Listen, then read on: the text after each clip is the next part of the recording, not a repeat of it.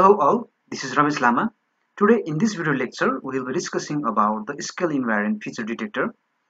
Before we go more detail, let's see some properties of Harris corner detector that we have discussed in our previous lecture.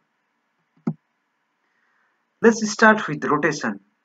If we have an image with the small corner and we rotate it, how would the Harris operator respond? Well, we have discussed about the formation of ellipse uh, from the moment matrix of gradients in our previous class. Here the ellipse will rotate with the rotation of corner, but it will be same ellipse because the variation of gradients would be same over the window.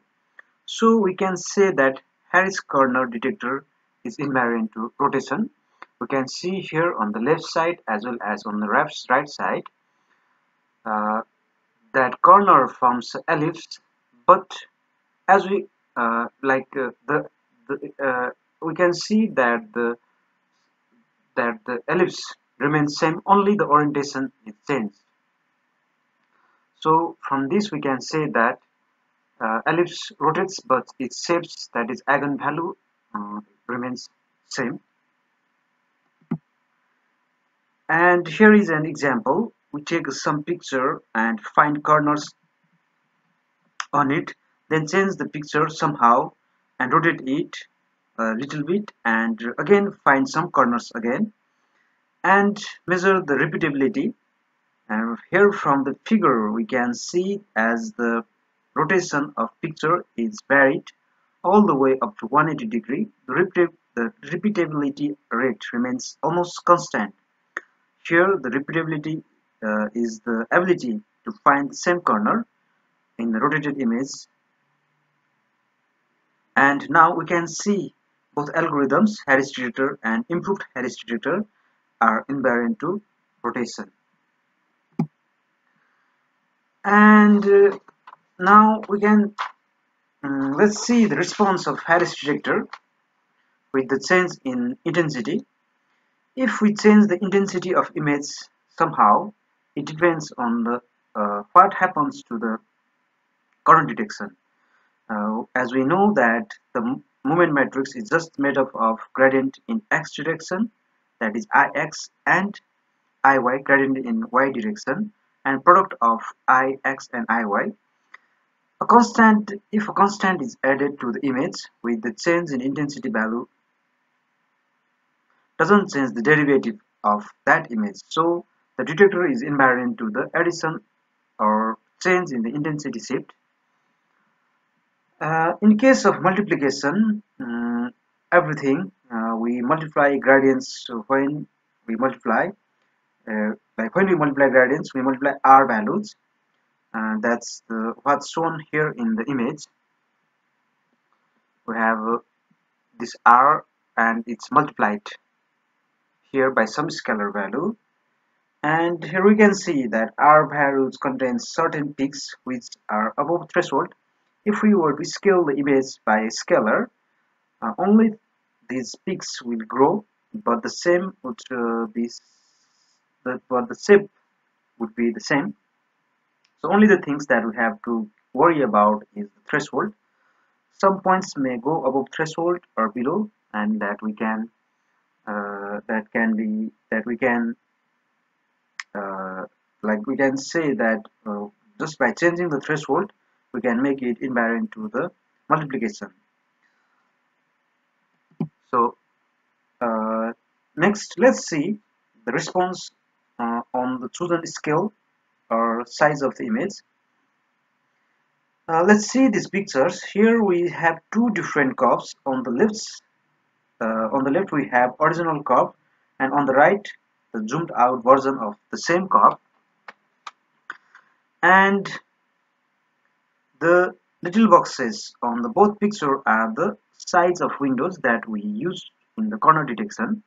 Now if we look at each of these boxes at the left side all the points inside the box will be clearly classified as being edges because it essentially there is a gradient only in one direction.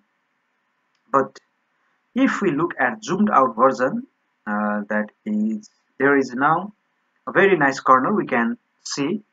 It, uh, it as a corner not only the edges. Now we can come to the conclusion that by changing this smooth curve by zooming out the curve becomes tighter and tighter and more tighter and it goes from being edges to being a corner so in general the Harris corner detector isn't parent to the scale.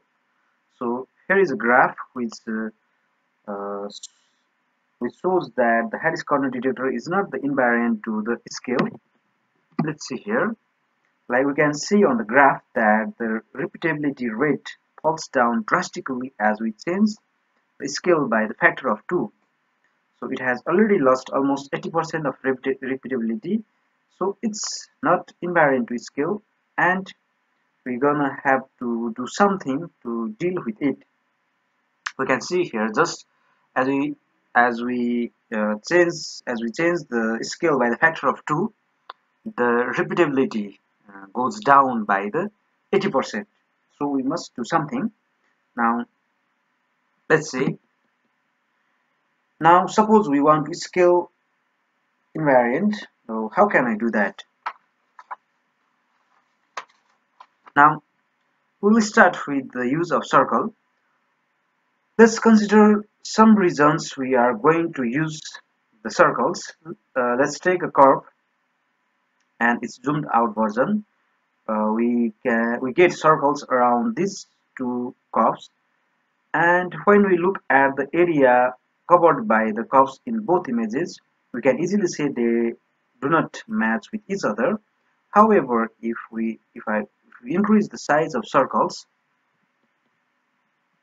here like if we increase the uh, size of circle bit step by step and we will reach at the point where both uh, the curves look almost same like the, the curve covered by the circle uh, uh, they will correspond to the same um, same curve and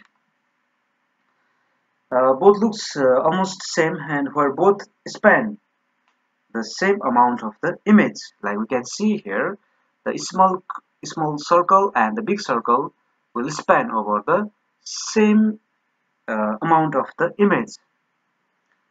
So once we get this corresponding size curve of both images a problem arises like uh, uh, that's how to choose these circles independently because we have to be sure uh, about the appropriate scale for the images in the left side as well as in the right side. Here what we want to the what we want the case is the red circles are the scales we picked for the left ha left hand image and uh, like which is big circle and the scale that we picked in the right hand side is a small circle. That's what we want to do.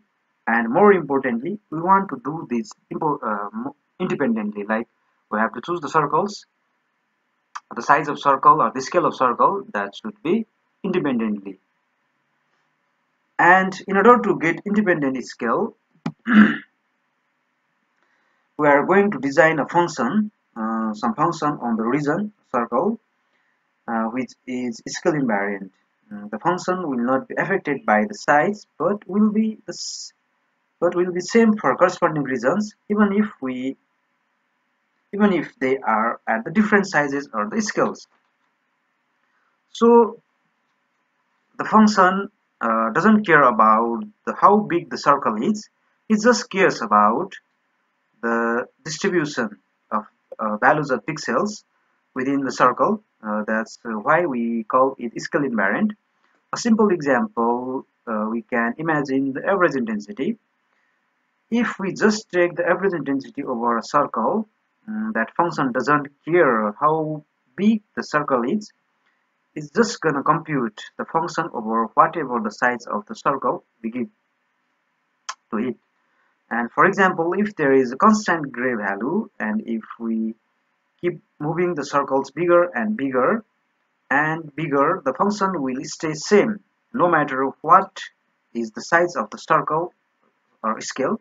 However if we uh, if we have the function that changes over the different corresponding regions then the function will go up and down as we uh, have looked over these different regions. So and if I zoomed out uh, the for zoomed out scale down or scale down that thing it would go up and down again but now it would go up and down faster. As we grow our um, as we grow our circle or we move. So imagine at a point we have compute one of these scale invariant functions like average intensity over the range of the neighborhoods. And so we are at a scale at a single point and we are computing these functions f over the different region sizes. We can see here I have got image 1 and I have I compute the average intensity average value for the uh, for the uh, in versus uh, region size like uh, and imagine um, at a point like we compute uh, this function these these functions. And what happens here is we are at a single point and we are computing this function f over different region sizes. We increase the region size and uh, we will notice that the it goes up like uh, as the region size increases it goes up and it reaches to some point uh, that is maximum and it goes down. And now let's suppose in the next picture we shrink the um, image down by a half.